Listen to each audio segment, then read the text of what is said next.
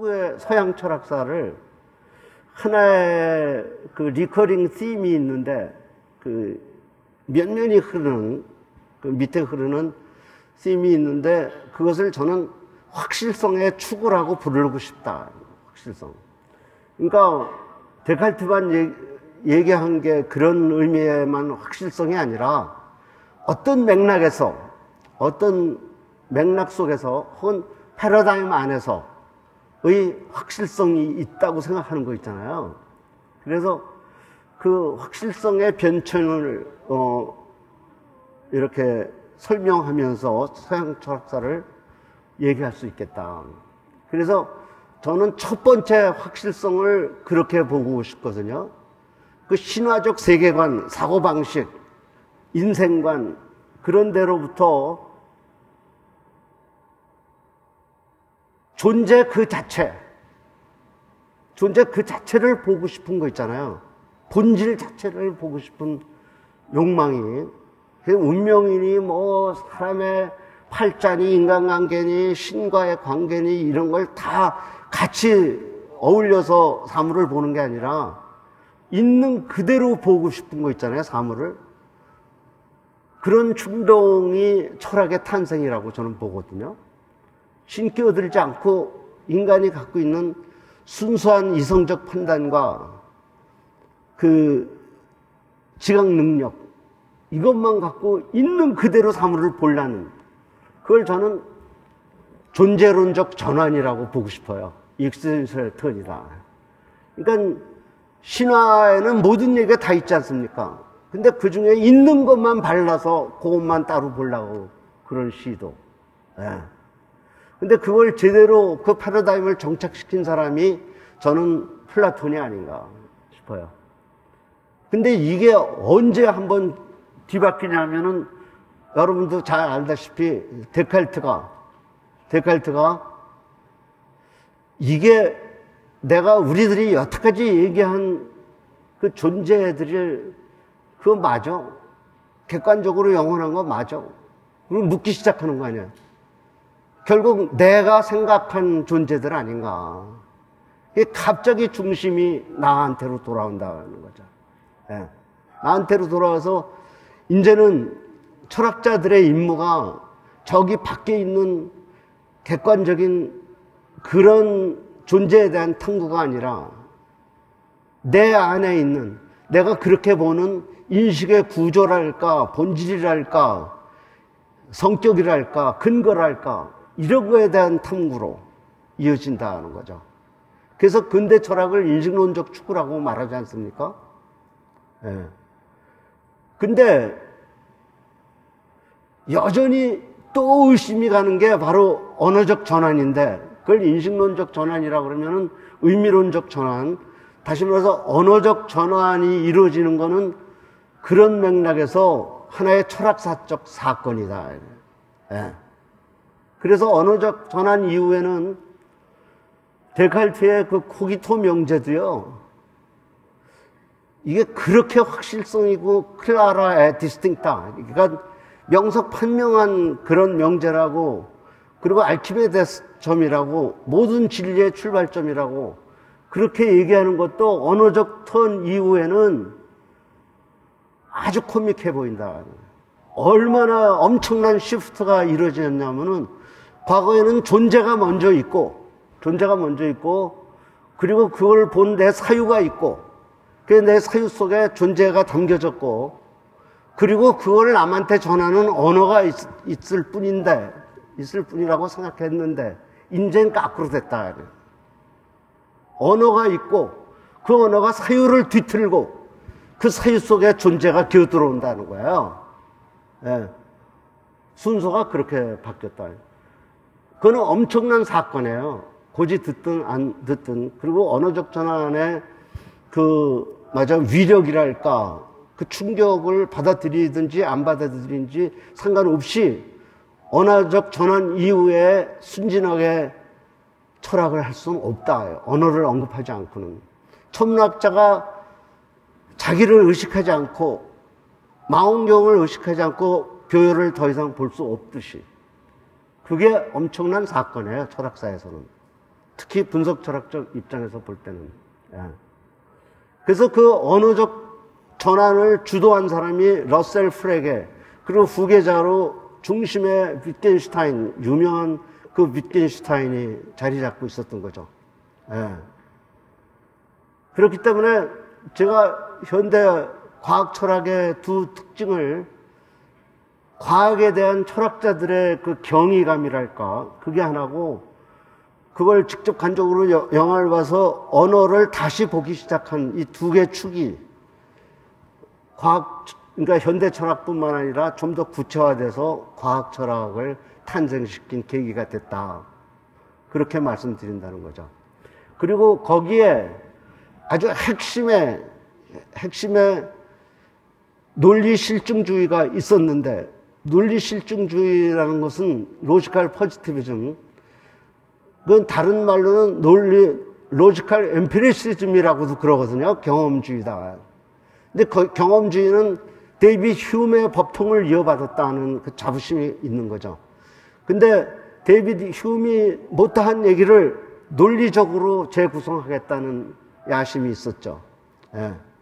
그래가지고 이 사람들은 남다른 관심을 갖고 그 논리를 담은 언어들이 어떤 걸까 추적해 보니까 논리를 담은 언어라는 게 형식 언어로 수학 언어나 뭐 논리 언어가 물론 있겠지만 그 외에는 과학 언어들하는 거예요.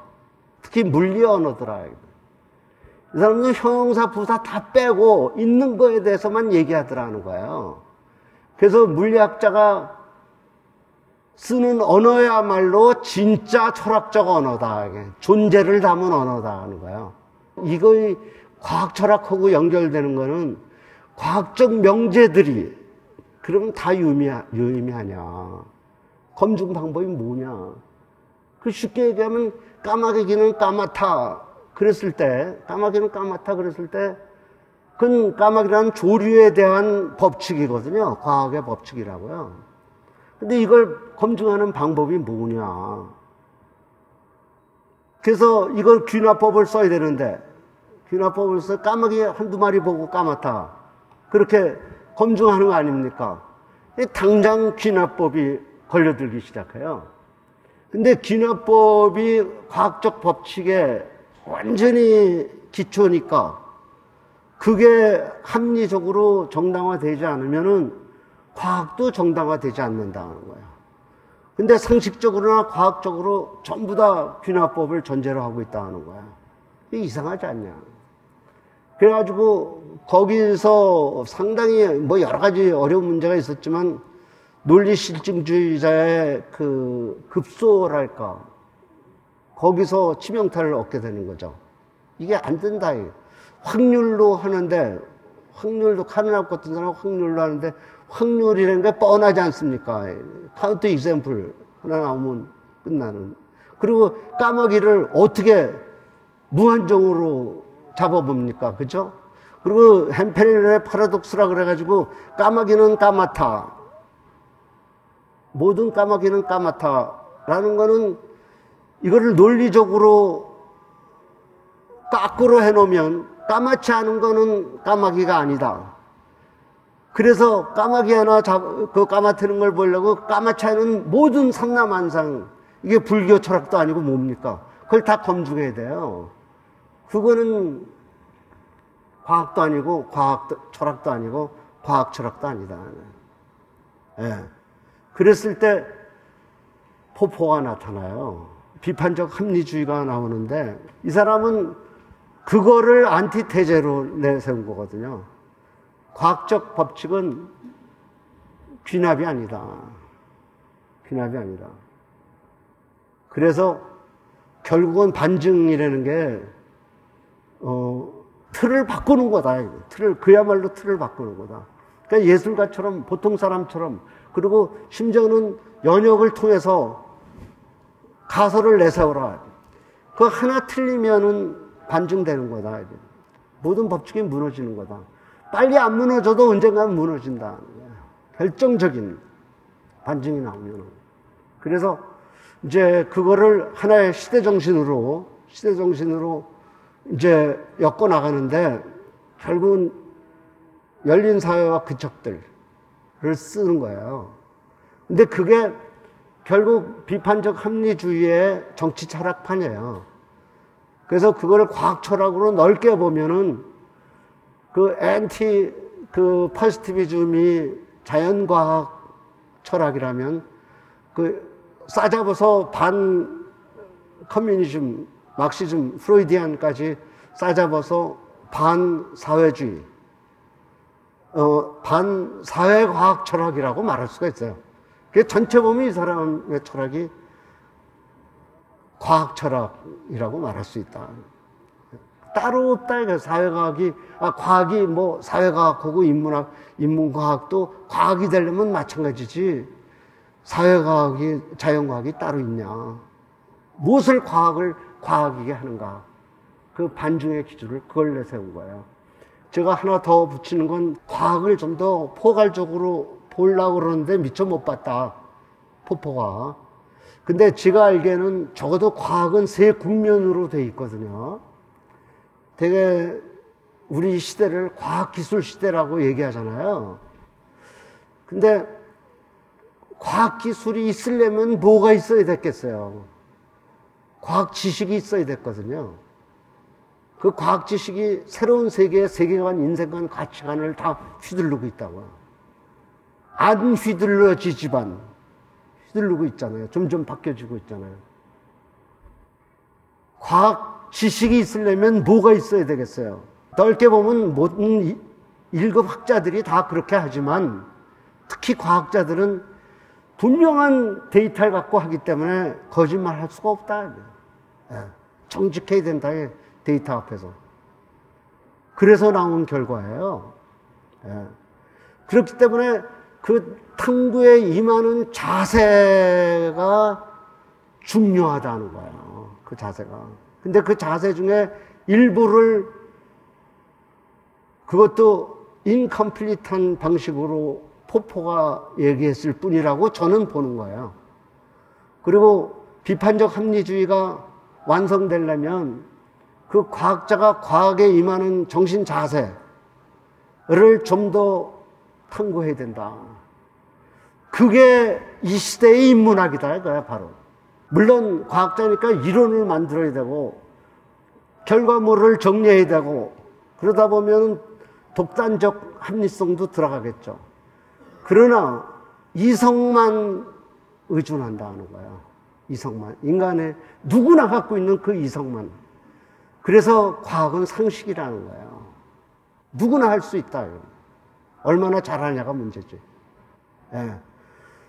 그리고 과학은 개방돼 있다는 거예요. 자기가 얻은 결론은 누구나 만질 수 있다. 트집 잡을 수 있고 과학자들한테는 개방성이 거기 있다.